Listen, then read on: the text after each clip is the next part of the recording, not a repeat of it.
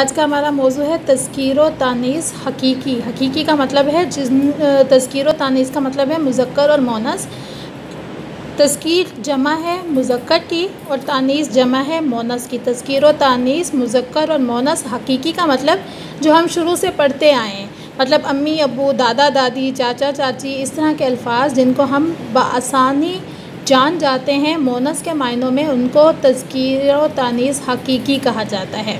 तस्कीर व तानीस हकीकी भी होती हैं और गैर हकीकी भी होते हैं। ये दो किस्म के होते हैं हकीकी वो जो हम शुरू से पढ़ते आए हैं जबकि गैर हकीकी वो कि जो किसी चीज़ का नाम आ, मतलब किसी रिश्ते चाचा चाची इस तरह से नहीं होता है। वो किसी चीज़ का नाम होता है। मतलब पेंसिल हम अब पेंसिल है तो हम इसको इस्तेमाल होती है तो ये हमारी मोनस में आ जाती है तो ये पेंसिल हमारे गैर हकीकी में आ जाती है। ऐसी हकीकत जो हम मुजक्कर मोनस में काउंट नहीं करते मतलब मुजक्कर मोनस में लेकर नहीं आते, लेकिन वो मुजक्कर मोनस में शामिल ज़रूर होते हैं। आज हमारे, हम पढ़ेंगे नटबान का सफ़ा नंबर पंद्रह। जिन्स के अतबार से इसम की दो इकसाम हैं। जिन्स कहा जाता है, जिन्स के अतबार से इसम की दो इकसाम हैं, मुजक्कर और मोनस, जैसे मर्द और औरत, बैल और गाय वगैरह।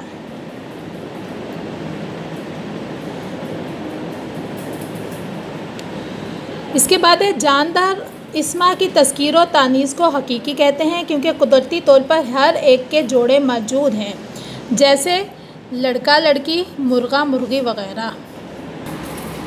अब देखें, तस्कीर व तानीस हकीकी में बाज़ ऐसी चीज़ों के नाम आते हैं जो सिर्फ़ मोनस के तौर पर आते हैं। मसलन, बाज़ असमा ऐसे हैं जो सिर्फ़ मोनस आते हैं, जैसे अना, परी वगैरह, और बाज़ असमा, बाज़ नाम ऐसे आते हैं जो सिर्फ़ मुजक्कर के लिए इस्तेमाल होते हैं, जैसे फ़रिश्ता या देव वगैरह।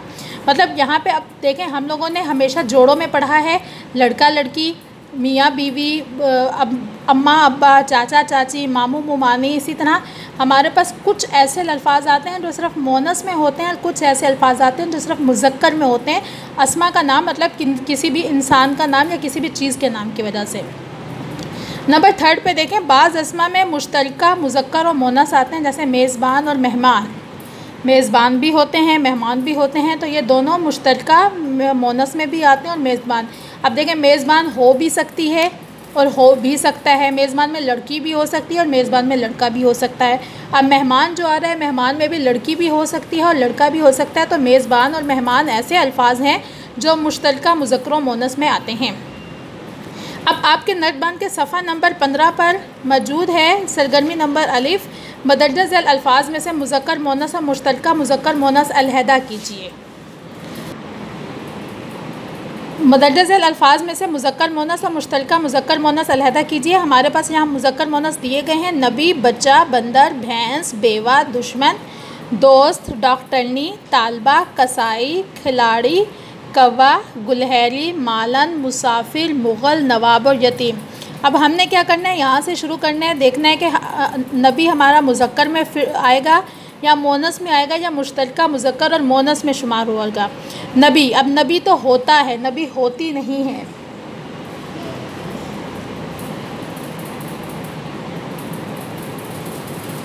तो हम उसको मुजक्कर में लिखेंगे या मोनस में लिखेंगे? अब बच्चा है, बच्चा हमारा मुजक्कर में आएगा या मोनस में आएगा? बंदर बंदर सबको पता है, मुजक्कर में आता है। भैंस, अब भैंस मुजक्कर में आएगी, मोनस में आएगी। बेवा इसी तरह पहले लिख लूँ दो तीन। जी देखें अब मैंने यहाँ पे मुजक्कर में नबी होता है तो नबी हमारा किसमें आएगा? मुजक्कर में आएगा, उसके बाद दूसरे नंबर पे हमारे पास है बच्चा। बच्चा भी होता है तो वो भी मुजक्कर में शामिल होगा। इसी तरह मैंने आगे आपके लिए मोनस में भी कर दिया है, बेवा, जिसका शोहर की वफ़ात हो जाती है, उस औरत को बेवा कहा जाता है। अब बेवा जो है वो मोनस में आएगा, इसके बाद डॉक्टरनी मोनस में आएगा। आप यहाँ पे मुश्तरका मुजक्कर और मोनस में हम ऐसे अल्फाजों को लिखेंगे जो मुजक्कर में भी इस्तेमाल हो सकते हैं और मोनस में भी इस्तेमाल हो सकते हैं। यहाँ मैंने सबसे पहले दोस्त लिखा।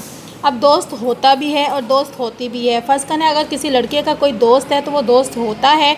अगर किसी लड़की की कोई सहेली है तो वो उसकी दोस्त होती है। तो दोस्त मुश्तरका मुजक्कर और मोनस दोनों में आएगा कि दोस्त होता भी है और दोस्त होती भी है। इसके बाद मैंने यतीम लिखा है। यतीम लड़का होता भी है और यतीम लड़की हो भी सकती है तो ये भी मुश्तरका मुजक्र और मोनस दोनों में शुमार होता है। आपने इन लफ्ज़ों को देखते हुए बाकी कॉलम को मुकम्मल करना है। मुज़क्कर वाले अल्फाज मुजक्र के कॉलम में लिखने हैं, मोनस वाले अल्फाज मोनस के कॉलम में लिखने हैं और मुश्तरका मुज़क्कर मोनस के अल्फाज जो हैं वो मुश्तरका मुज़क्कर मोनस के कॉलम में लिखने हैं। जी, अब देखें नटबंद के सफ़ा नंबर सोलह पर आपका बे वाला जीम वाली सरगर्मी है कि मुदजल जुमलों में से तस्कीर व तनीस हकीकी अलहदा कीजिए।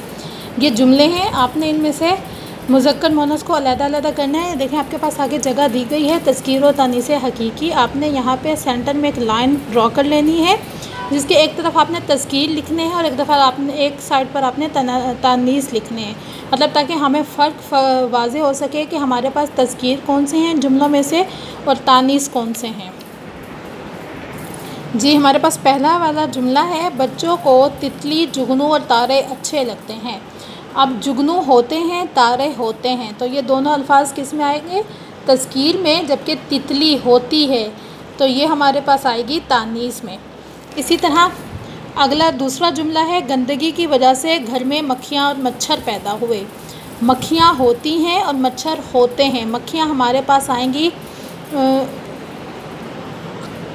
अब देखें, इस जुमले में मच्छर हमारे पास तस्कीर में है और मक्खियाँ हमारे पास तानीस में है कि मच्छर मुजक्कर में आते हैं और मक्खियाँ हमारे पास मोनस में आती हैं कि मच्छर और मक्खियाँ पैदा होते हैं। आपने इन दो लफ्ज़ों को देख दो जुमलों को देखते हुए अपने बाकी के जुमले मुकम्मल करने हैं। नंबर तीन है कि बुलबुल फाख्तर कोयल पर अक्सर शरा ने शायरी की।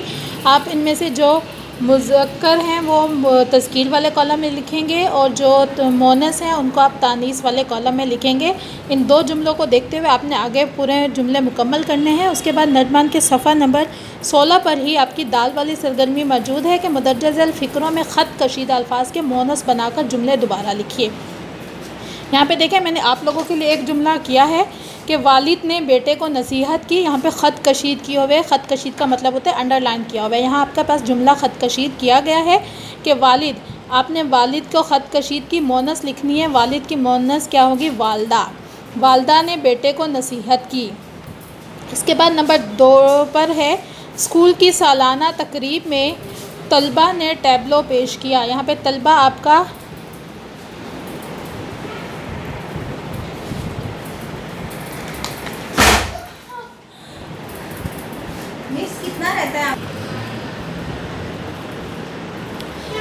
अब दूसरे वाले जुमले में देखें कि स्कूल की सालाना तकरीब में तलबा ने टैबलो पेश किया। यहाँ पे तलबा ख़त कशीद किया गया है तो हम इसकी मोनस लिखेंगे और मोनस लिखते हुए इस जुमले को दोबारा लिखेंगे। उसके बाद है, ऊँट एक बड़ा जानवर है, यहाँ ऊँट को ख़त कशीद किया गया है।